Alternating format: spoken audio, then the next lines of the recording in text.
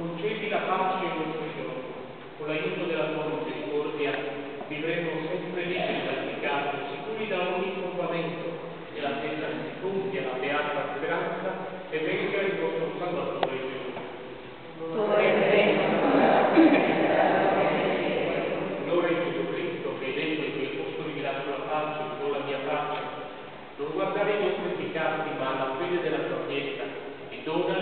pace, secondo la tua volontà, tu che vivi a regni nei secoli dei secoli. Amen. La pace del Signore è sempre. E con il tuo spirito. Cambiatevi pace.